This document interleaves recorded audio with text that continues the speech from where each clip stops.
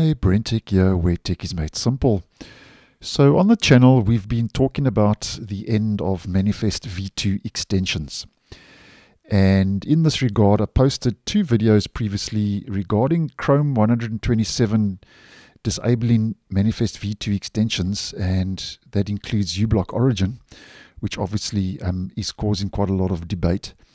And then a video I posted a couple of days ago I mentioned that Google is already preparing the message that will inform you in Chrome that a particular Manifest v2 extension is no longer supported and basically has been turned off. And I'll leave both those videos in the end screen.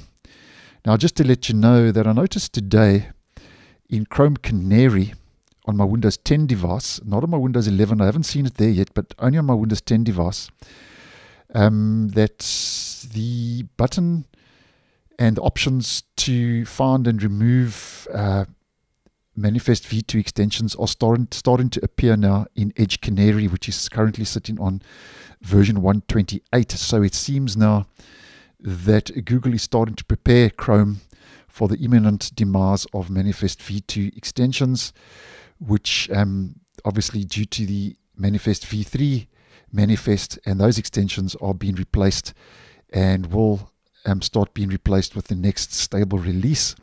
Now, if we head over to our Manage Extensions page, yeah, I noticed today, and I know I did show you part of this in that previous video, but I can now actually show you this in real time because in the previous one I used a screenshot.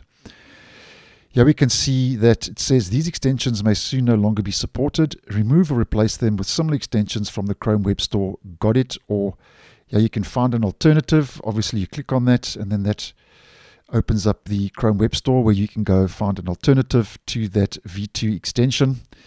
And then you've also got keep for now or remove from Chrome.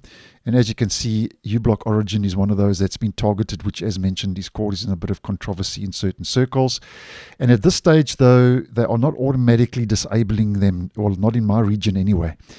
Um, uBlock Origin is still enabled and still working, but um, this menu and this message now is coming up. These extensions may soon no longer be supported. And although at this stage we are able to turn that on and off manually and it hasn't been disabled by default, um, obviously that's going to change um, starting with our next stable release, Chrome 127, where, as I have mentioned previously, um, those extensions, the V2 extensions, will uh, be disabled by default in the browser.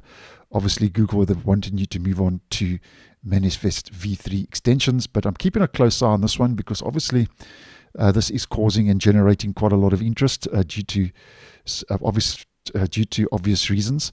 So if I get any more info, obviously I'll keep you guys posted. So thanks for watching, and I'll see you in the next one.